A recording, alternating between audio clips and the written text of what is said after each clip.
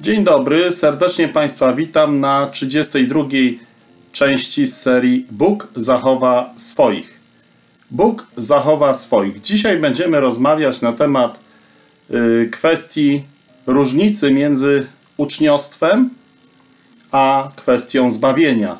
Chodzi o to, że nie każdy uczeń Pana Jezusa jest zbawiony i nie każdy zbawiony podejmuje się obowiązków bycia uczniem, choć oczywiście powinien, ale nie jest to związane ze zbawieniem, a jest związane z kwestiami dotyczącymi naszych chrześcijańskich obowiązków, które nie mają wpływu na zbawienie lub jego utrzymanie lub utratę, bo zbawienie jest nieutracalne, gdyż jest z łaski, jest niezależnie od uczynków, a więc zbawienia utracić się nie da.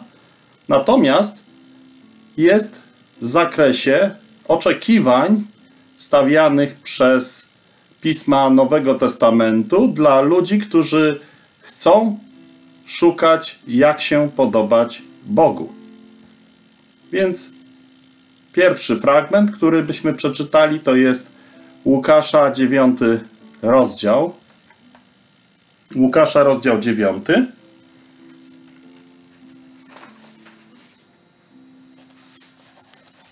Będę czytał z tego przekładu, wydanego przez Trinitarne Towarzystwo Biblijne.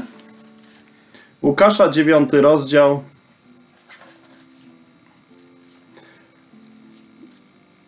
Zobaczmy 61 i 62 werset.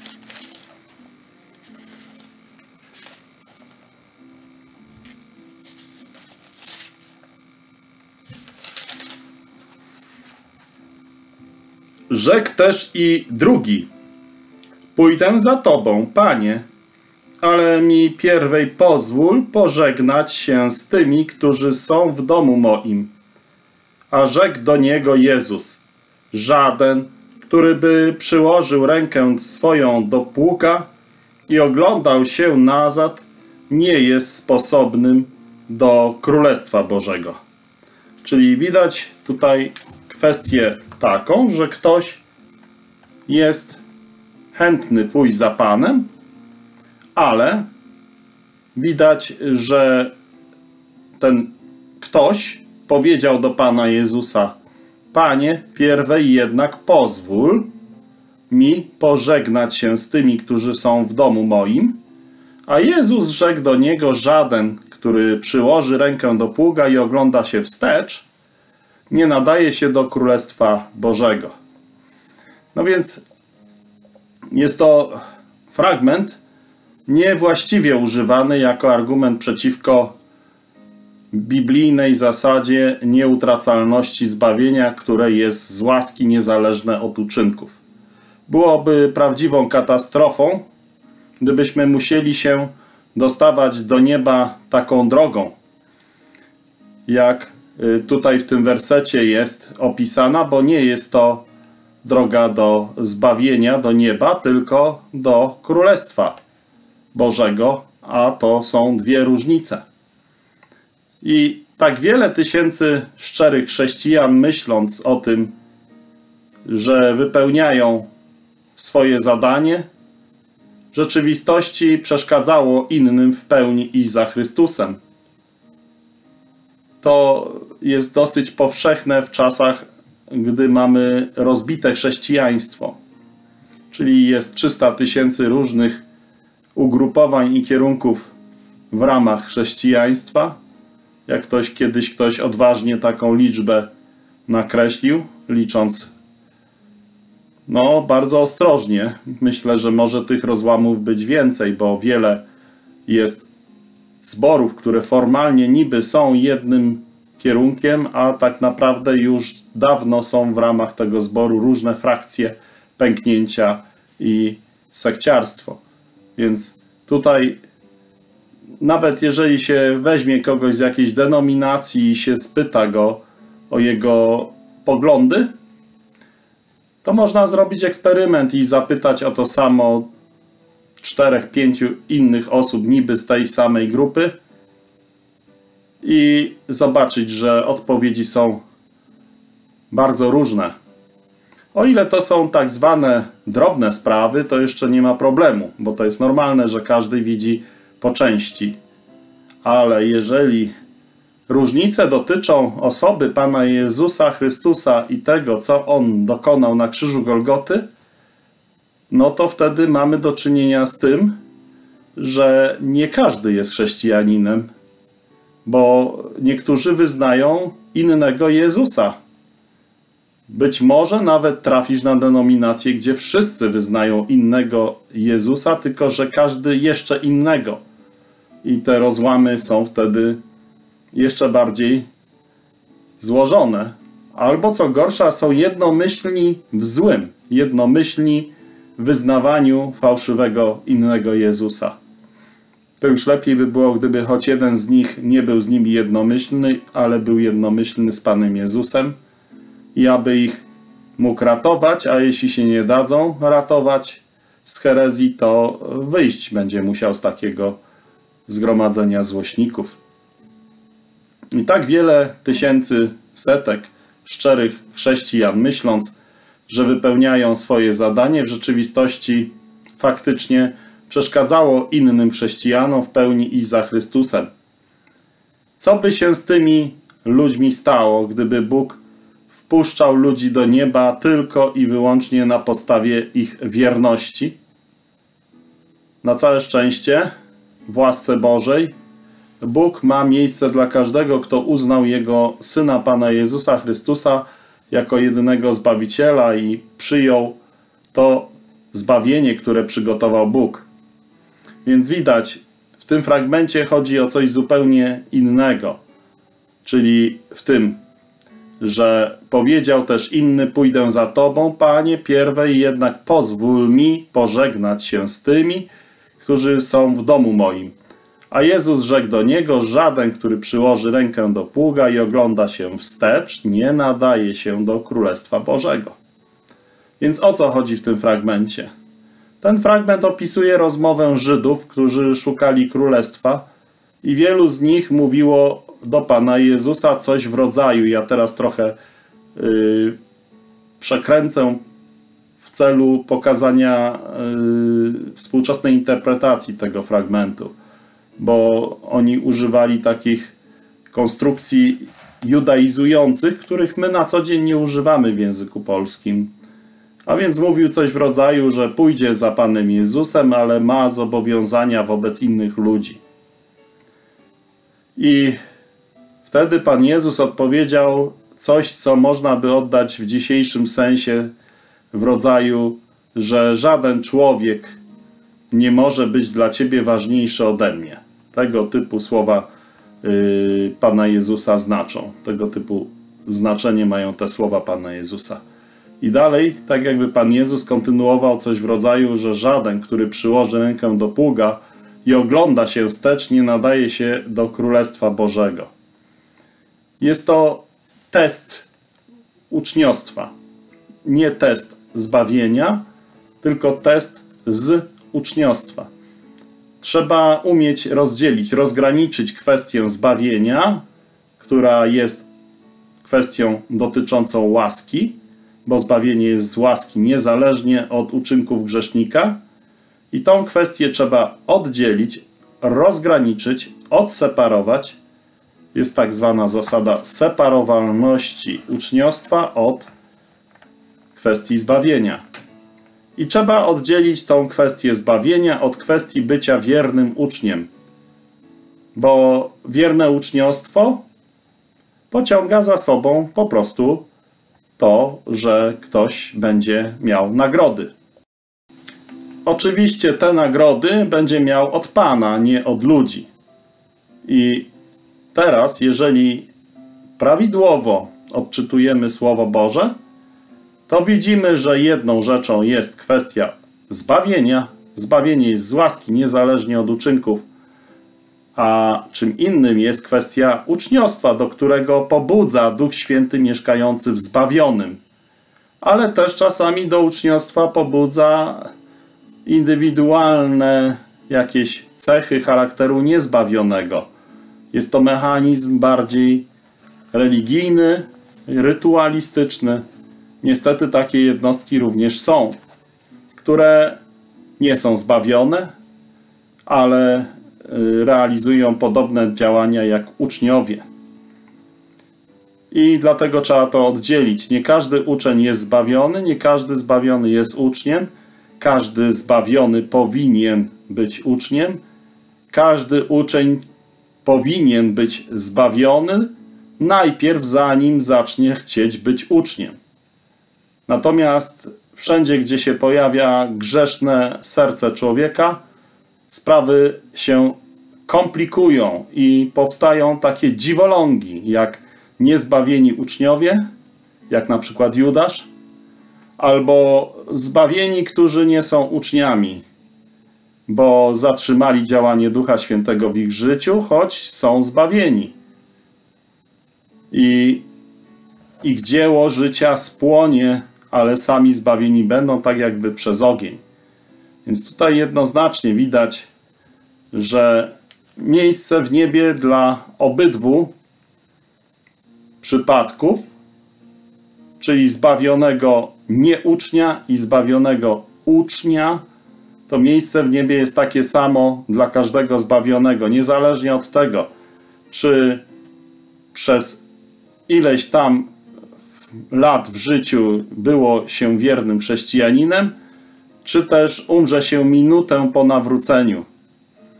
Bo chyba nie mamy wątpliwości, że jak jedzie w wypadku Y, jedzie w samochodzie Zosia, która chwilę wcześniej dostała na parkingu traktat ewangelizacyjny. Jest pasażerem w samochodzie, czyta ten traktat, rozumie, że ma się nawrócić, nawraca się i sekundę po nawróceniu ginie w wypadku samochodowym ta Zosia, powiemy, każdy szczerze powie, kto zna Ewangelię, że Zosia idzie do nieba. Będzie raz na zawsze zbawiona. Nawróciła się tuż przed śmiercią.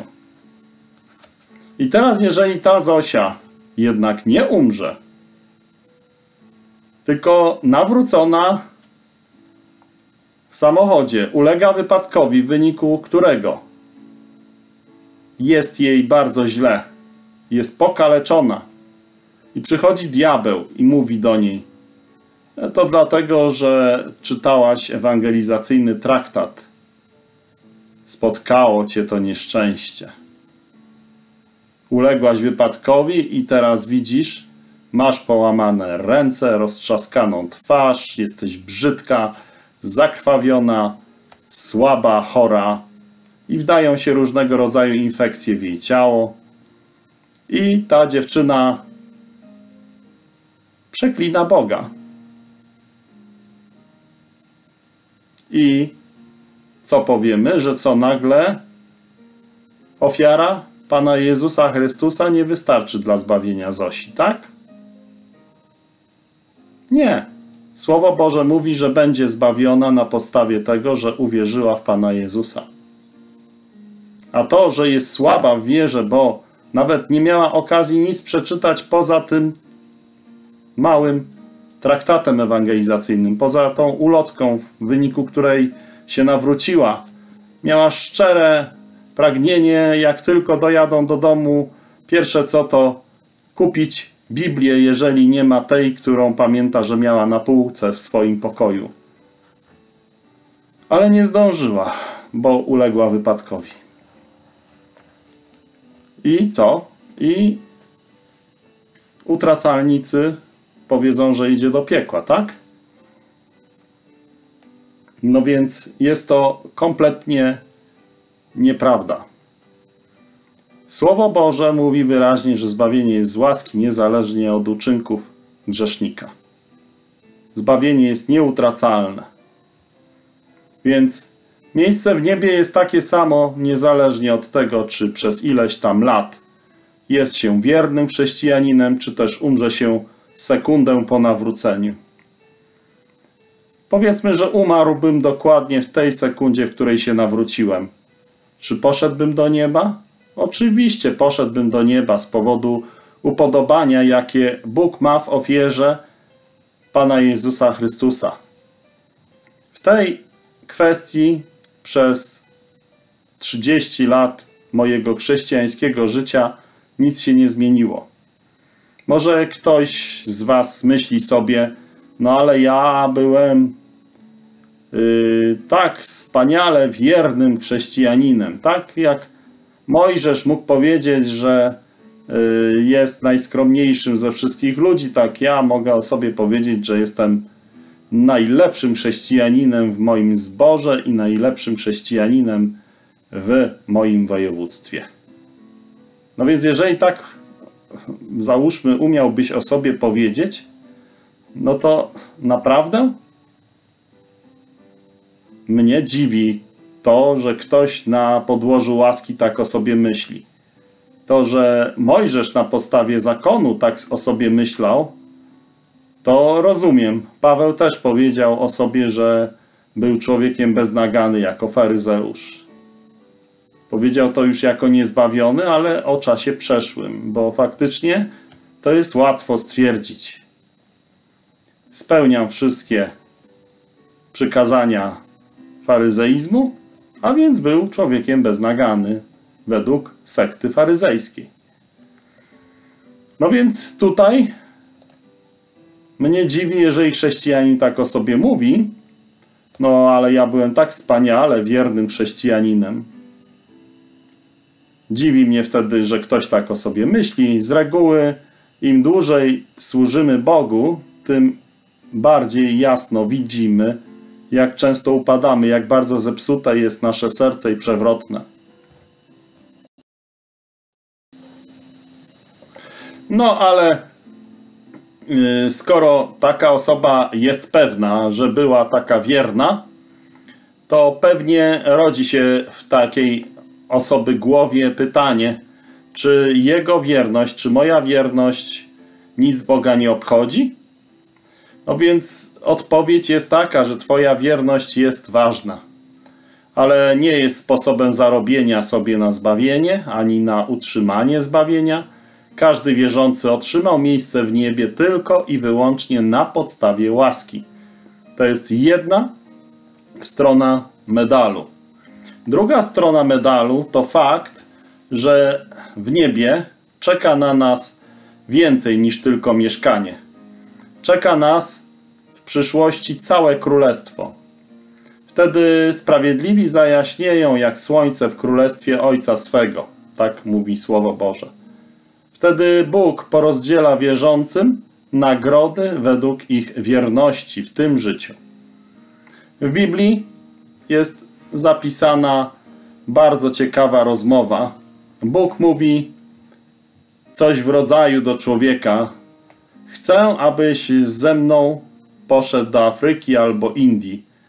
Czyli jeżeli tą właśnie rozmowę sparafrazowalibyśmy w ten sposób, to byłaby to taka właśnie rozmowa. A wtedy ten człowiek mówi, ale panie, odpowiedziałby taki człowiek, pozwól mi najpierw pochować ojca, który jest stary i nie chcę go tak zostawić. I pójdę za tobą, kiedy on umrze.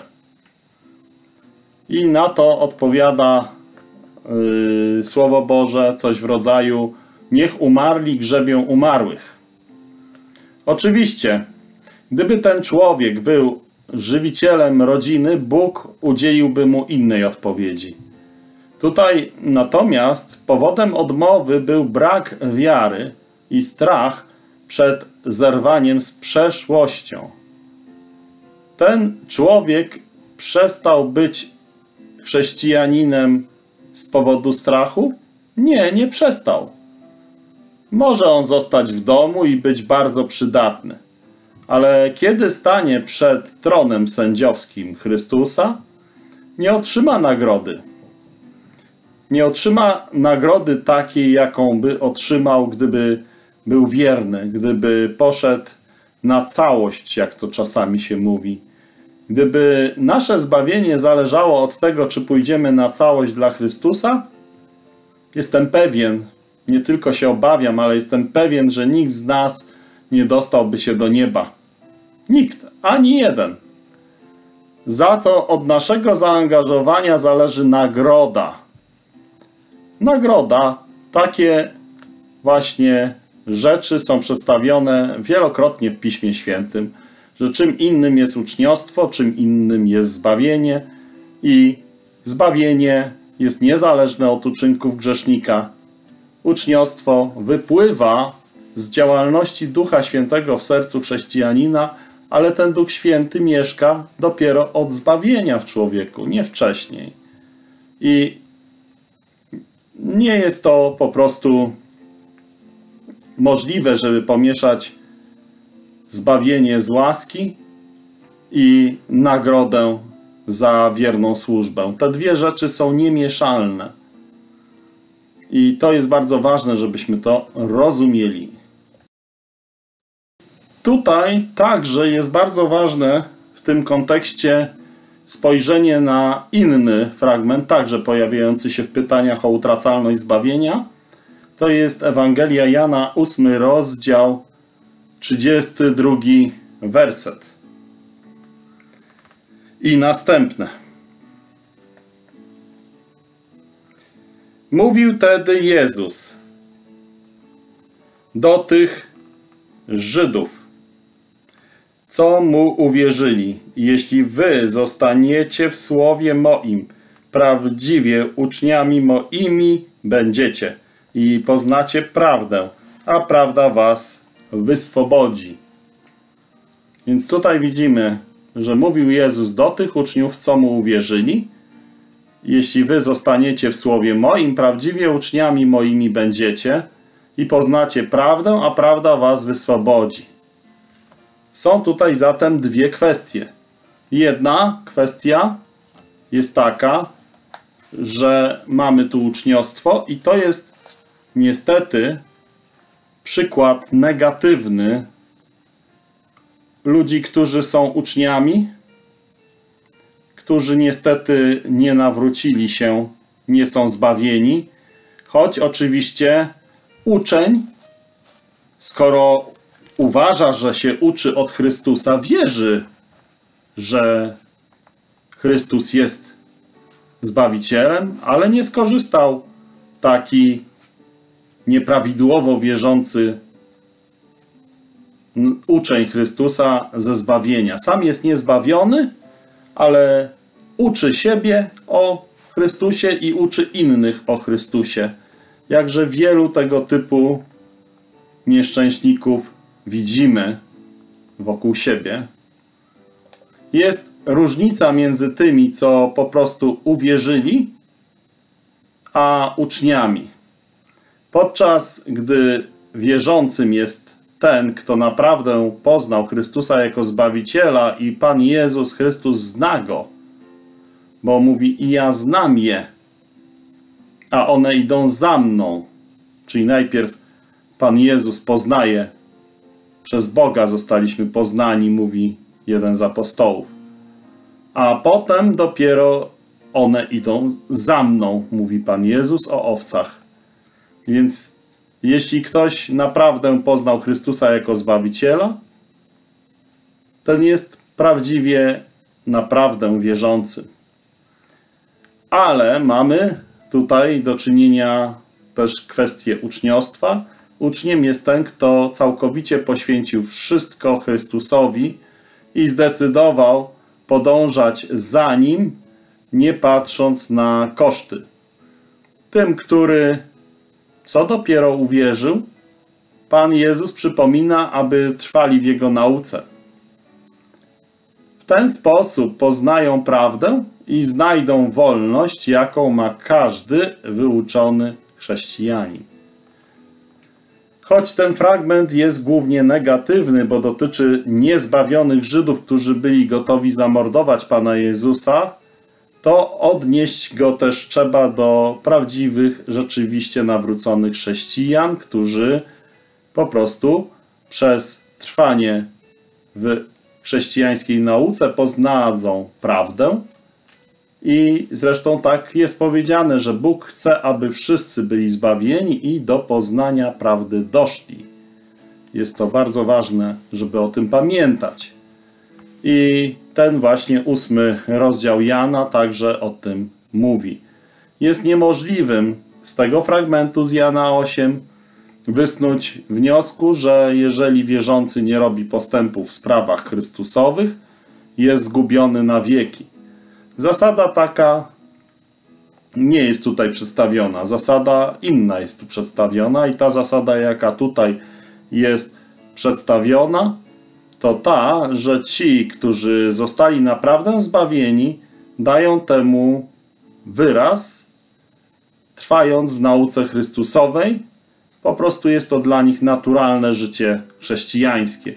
Ale jeżeli ktoś mówi, że jest zbawiony, a zachowuje się w sposób niegodny Pana, to po prostu nie niesie wspólnie z innymi chrześcijanami tej odpowiedzialności w lokalnym zborze, bo inni wierzący się od niego separują, traktując, że jest po prostu pozorantem. Jest to naturalna rzecz. To może też y, dziwić kogoś, dlaczego Bóg to tak urządził.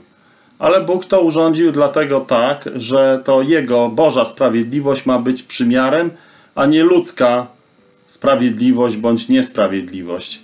Każdy człowiek ma pewne poznanie dobra i zła. Takie a takie rzeczy są dla niego dobre, a inne złe, choć prawdopodobnie dwie osoby nie wskazałyby identycznych standardów. Ludzie ustanawiają takie standardy dobra dla siebie samych i podobne standardy zła, z których wyłączają siebie, a zaliczają innych. Na przykład ludzie nadużywający alkoholu nie uważają picia za coś bardzo krzywdzącego, lecz uważaliby za bardzo złe złodziejstwo. Człowiek żonny pieniędzy, który prawdopodobnie każdego dnia oszukuje lub wykrzywia tak zwane drogi handlowe, usprawiedliwia się tym, że może nawet powie tak, robię tylko to, co jest konieczne i zwyczajne w biznesie. A w końcu, mimo wszystko, to ja nie piję, nie przeklinam i nie przysięgam tak jak inni. Z kolei człowiek rozpustny pyszni się tym, że jest dobry i ma miękkie serce. Dla innych na dłoni potrafi mieć wyciągnięte serce, niektórzy tak mówią. I mówi sobie, nikomu nie robię krzywdy oprócz siebie, mając na myśli rozpustę. Prawy, z kolei moralny i uprzejmy człowiek zadowala się tym, co sam nazywa wykonywaniem swoich obowiązków i rozgląda się wokoło i rozpacza nad otwartością grzechu, który widzi. Lecz nigdy nie dostrzega, jak wiele złych myśli, grzesznych pragnień, nieznanych innym, chowa w sobie, w swoim własnym sercu. A Bóg osądza przecież serca. Bóg osądza serca, pomimo że człowiek patrzy tylko na zewnętrzny wygląd. No i w związku z tym mamy taki bałagan. Każdy człowiek raduje się z tego, że nie robi pewnych złych rzeczy, porównując siebie z innymi, grzeszącymi tak jak ten człowiek uważa sam nie powinien. To wszystko wykazuje, że człowiek nie osądza siebie samego na podstawie stałych standardów dobra i zła, lecz bierze to, co jemu samemu pasuje, a potępia innych. Ale musimy być świadomi, że jest standard, do którego wszyscy będą przyrównani i zgodnie z którym standardem będą osądzeni. Standard ten to standard sprawiedliwości. Ten standard sprawiedliwości, z którym wszyscy minęli się i dlatego będą osądzeni na wieczne potępienie, a nie jest to nic mniejszego niż sprawiedliwość Boża. Gdy człowiek zaczyna odkrywać, że nie powinien osądzać siebie na podstawie porównania z innymi, lecz w porównaniu siebie z Bogiem, wtedy jego sumienie jest zrujnowane. Nie będzie próbował usprawiedliwiać się, usiłując znaleźć kogoś gorszego od siebie, lecz będzie zaniepokojony tym, czy to jest możliwe, aby Bóg, przed którym, o czym to sam wie, jest potępiony, może mu przebaczyć. W ósmym rozdziale Ewangelii Jana możemy takie pouczające słowo znaleźć. Tam mamy przykład, w którym faryzeusze i uczeni w piśmie, a to byli ludzie, którzy uważali, że są bardzo moralni i religijni, i ci ludzie byli bardzo oburzeni i zszokowani, gdy znaleźli złą kobietę przyłapaną na jawnym grzechu. I złapawszy tę niewiastę na, jak to oni określili, jawnym grzechu, przyprowadzili ją. Sprawiedliwość i prawo Mojżesza uczyły ich, że należy z niej zrobić przykład dla innych. Nie może taki grzesznik żyć. Znakomicie ucisza i zadowala złe i zepsute serce ludzkie, gdy może tylko znaleźć kogoś gorszego od siebie. Myśli wtedy, że cudzy, w cudzysłowie większy grzech usprawiedliwia jego własny grzech. I podczas gdy on oskarża i gwałtownie obwinia innego, zapomina o swoim własnym grzechu. Tak więc raduje się niegodziwością. Lecz to jeszcze nie wszystko, ponieważ w ten sposób człowiek nie tylko wywyższa i gloryfikuje upadek i zepsucie innych, lecz nie jest w stanie zobaczyć ani pomyśleć o tym, że Bóg okazuje łaskę Łaska oznacza pełne i darmowe przebaczenie każdego grzechu, każdego zła, bez wymagania przez Boga czegokolwiek od tego, któremu On przebacza. Ta zasada jest tak przeciwna wszelkiemu ludzkiemu myśleniu i jest to droga tak przewyższająca ludzkie, że nie podoba się człowiekowi i w swoim własnym sercu nazywa to niesprawiedliwością. Człowiek taki sam nie działa w taki sposób i nie podoba mu się sposób, w jaki robi to Bóg. Jest bardzo uniżające przyznać się, że jeśli chodzi o zbawienie, jest się całkowicie zależnym od łaski. Jest bardzo uniżające przyznać się i przyznać, że nic nie zrobiłeś ani nie możesz zrobić w przyszłości, co mogło spowodować, że podlegamy tej łasce. Faryzeusze i uczeni w piśmie nie rozumieli tego i nie chcieli się przyznać do tego, że oni sami są grzesznikami chcieli wprawić Jezusa w zakłopotanie i gdyby uniewinnił kobietę, mogliby powiedzieć, że postąpił niesprawiedliwie, a gdyby ją potępił, nie byłby miłosierny. Takie należy kamienować, a ty co mówisz? pytali.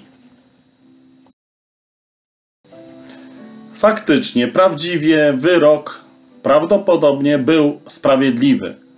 Dowód winy kobiety nie pozostawiał żadnych wątpliwości, albo przynajmniej nie były one przytoczone. Lecz kto miał wykonać prawo? Człowiek łatwo potępia, lecz kto ma prawo wykonać wyrok? Kto z was jest bez grzechu? Niech pierwszy rzuci na nią kamieniem. Któż mógł powiedzieć bez grzechu? A jeśli żaden z nich nie mógł powiedzieć jestem bez grzechu, to wszyscy podlegali temu samemu wyrokowi, co owa kobieta. To jest wieczna śmierć jest zapłatą grzechu. Śmierć jest żołdem grzechu. Zapłatą grzechu jest śmierć wieczna. Oto więc mamy przedziwną sytuację. Oskarżona i oskarżyciele są na równi przestępcami. Teraz już nie takie należy kamienować, lecz wszyscy powinni być ukamienowani. Od najstarszych do najmłodszych wszyscy są więźniami grzechu.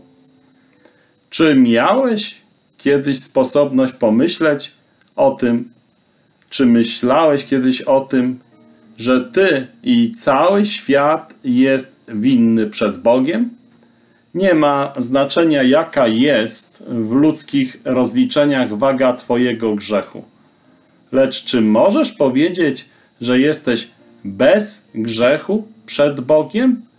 Jeśli nie, to wyrokiem za to jest wieczna śmierć. Dusza, która grzeszy, umrze. W tym smutnym stanie, co możesz uczynić? Możesz zrobić to samo, co uczynili faryzeusze i uczeni w piśmie, gdy zostali przekonani o swojej winie. Opuścili obecność tego, który może ogłosić przebaczenie. Adam zrobił w ogrodzie to samo już wcześniej. Gdy poczuł się winnym, odszedł i ukrył się przed Bogiem. Odwrócił się od swojego jedynego przyjaciela właśnie wtedy, gdy potrzebował jego pomocy najbardziej. I tak niestety jest też dotąd. Człowiek ciągle boi się tego, który gotów jest przebaczyć. Bóg jest gotów przebaczyć. Człowiek ciągle boi się tego, który gotów jest przebaczyć. Możesz przekonać siebie samego, że nie jesteś taki zły. Możesz znaleźć innych gorszych od siebie. Lecz czyż nie jest tak, że mimo to jesteś grzesznikiem? Bo jesteś grzesznikiem. Co Bóg myśli o tobie? To jest ważniejsze. Czy Bóg cię zna? Co Bóg myśli o tobie? Czy to nie jest ważne pytanie? To jest bardzo ważne pytanie. Co Bóg myśli o tobie? Czyż nawet twoje własne sumienie nie mówi ci, nie jestem tak całkiem bez grzechu. Lecz, jeżeli nie jesteś tak całkiem bez grzechu, to jest to już ważna rzecz, że to zauważasz. Jeśli tak, to wyrokiem jest śmierć. Żołdem grzechu jest śmierć. Jeśli tylko usłyszelibyśmy, że Bóg jest sprawiedliwy, to niestety nie byłoby dla nas żadnej nadziei lecz On jest sprawiedliwym Bogiem i Zbawicielem. Nie tylko sprawiedliwym Bogiem, ale również Zbawicielem. On potępił i On ma też moc to potępienie wykonać, a jedynym pytaniem, jakie pozostaje jest, czy może wybaczyć? Czy Bóg może wybaczyć? Odpowiedź na całe szczęście jest taka, że Bóg może wybaczyć. I w tym ósmym rozdziale Jana czytamy, że pozostał Jezus sam i ta kobieta pośrodku. Stała ta kobieta przed tym, który mógł powiedzieć: Jestem bez grzechu, bo Pan Jezus jest bez grzechu. I też Pan Jezus mógł rzucić kamieniem, bo jest bez grzechu. Stała przed tym, do którego jako Pana należała. Jeśli popatrzymy w sercu na swoją sytuację i na sytuację tej kobiety, to widzimy, że jesteśmy tacy sami. Ale jeżeli upodobnimy się do niej nie tylko w tym, że jak ona jesteśmy grzeszni i potępieni, to zauważymy, że stała ona przed tym, do którego jako Pana należała. Bo o Panu Jezusie jest powiedziane, On to jest Panem wszystkich. A jaki miał być Jego wyrok na jej temat? Jaki jest Jego wyrok na Twój temat? prawo już ją potępiło. Prawo cię potępiło. Czy On, czy Pan Jezus Chrystus wykona sprawiedliwy wyrok prawa? Jakże wielkie napięcie musiało w niej panować w tej chwili. Jak nic nie znaczyło w jej mniemaniu całe otoczenie. Była sama z tym, który miał moc życia i śmierci. Wszystko zależało od jego słowa. Co on może powiedzieć? Ludzie nie odważyli się rzucić kamieniem, ale co teraz powie Bóg? Co powiedział Pan Jezus? Ja cię nie potępiam. Idź i nie grzesz więcej. Ciągle jest taka Boża odpowiedź dla zrujnowanego grzesznika ogłoszonego przez samego sprawiedliwego sędziego. Lecz jest to wyłącznie dla zrujnowanego grzesznika stojącego w świadomym przekonaniu o swoim grzechu przed sędzią. Tak zwani sprawiedliwi, usprawiedliwiający samych siebie, faryzeusze nie słyszeli tego. Zostali rzeczywiście przekonani o grzechu, lecz nie chcieli tego wyznać. Nie chcieli poddać się pod ten sam osąd, co zła kobieta, która otrzymała błogosławione słowa pokoju. Ciągle jest tak samo. Jeśli pragniesz otrzymać Boże, pełne i darmowe wybaczenie, to po pierwsze musisz stanąć jako winny grzesznik. Musisz być sam z Jezusem sam na sam z Jezusem, sam z Jezusem, świadomy samopotępienia, nie mając nikogo innego, z kim mógłbyś się porównać, ani nikogo innego, komu mógłbyś zaufać, nie robiąc poprawek do prawa, ani nie starając się najpierw, zanim staniesz przed nim, być lepszym, lecz przywiedzionym do Niego przez swój własny grzech, stojąc w miejscu samego potępienia i przed samą osobą, która ma moc potępić. Musisz sprawić, aby przekonanie o Twojej winie było przyczyną bycia wyłącznie z Nim, bycia wyłącznie z Jezusem. A Pan dał jej przebaczenie bezwarunkowe nie powiedział do niej, przebaczę ci, jeśli nie będziesz już więcej grzeszyć. Nie. On przebacza jej całkowicie i zupełnie. Najpierw i wie, że to uzdolni ją do unikania grzechu w przyszłości. Jeśli pragniesz mieć moc nad Twoimi grzechami, musisz najpierw, najpierw wiedzieć, że wszystkie zostały ci przez Boga wybaczone przez Chrystusa.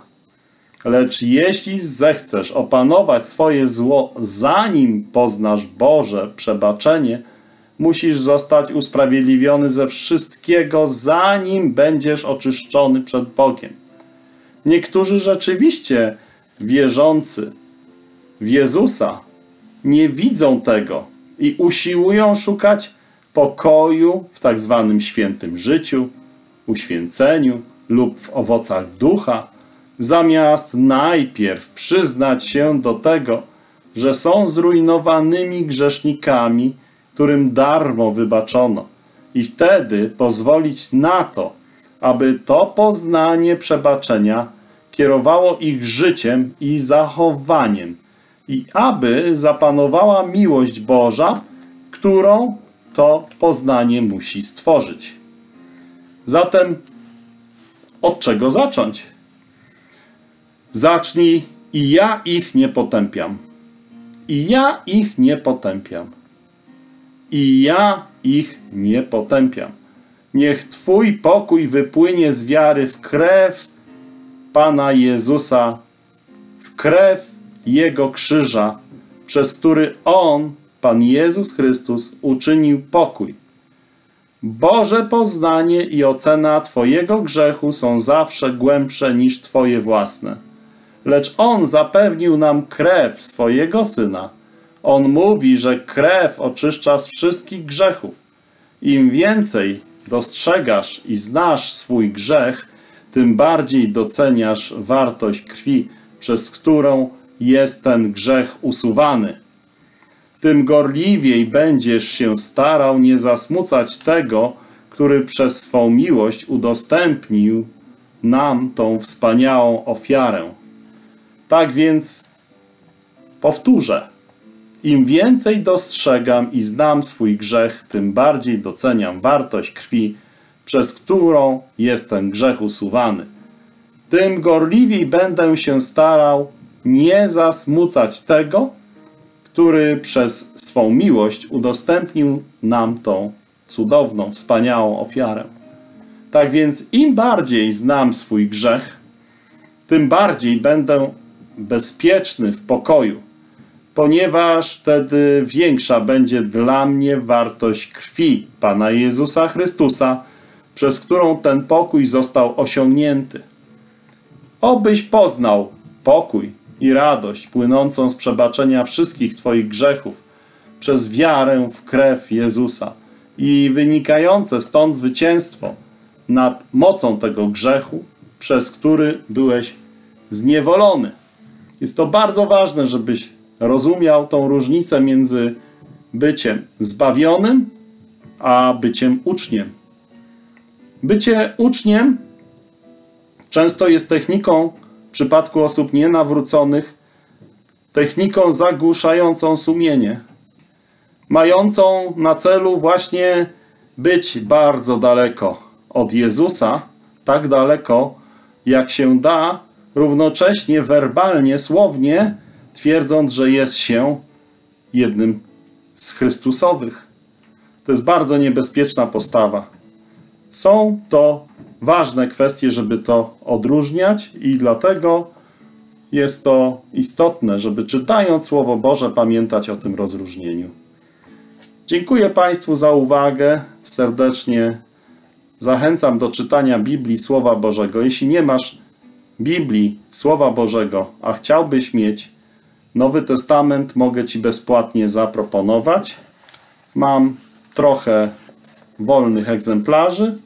Jeśli do mnie napiszesz na numer 739089088 albo na e-mail czytaj.biblię tak zwana małpa onet.pl albo na adres stacjonarny czytaj Biblię skrytka 31 63 500 Ostrzeszów, to zachęcam, abyś skontaktował się ze mną, a chętnie bez żadnych kosztów Nowy Testament postaram się dla Ciebie zorganizować. Dziękuję za uwagę. Była to 32 część serii Bóg zachowa swoich. Serdecznie pozdrawiam z Bogiem.